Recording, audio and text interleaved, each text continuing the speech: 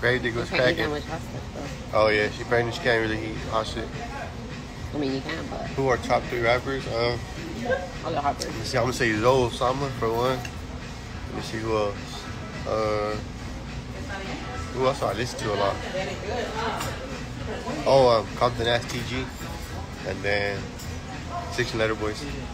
Yeah, come on now. Got a little song, song. Yeah. Was good though.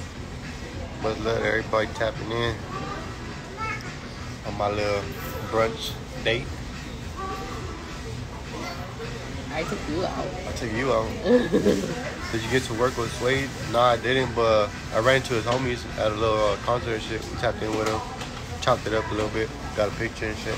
But yeah, that's why that shit was kind of sucked because we know we were gonna be able to meet him sooner or later. Because we're the homie's supposed to box him, his cousin, Plugs. We're supposed to go on Saturday or Sunday. I think Sunday we're supposed to go there. My homie's gonna box him, but that shit didn't happen. But yeah, send my G, Modesto. Shout out to Modesto.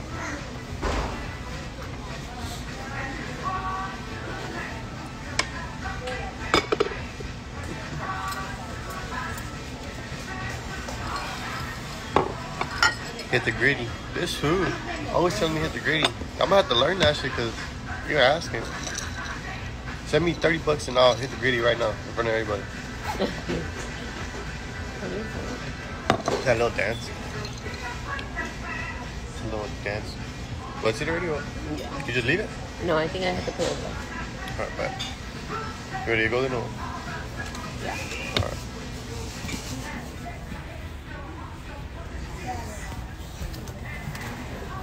Alexis is cracking with you.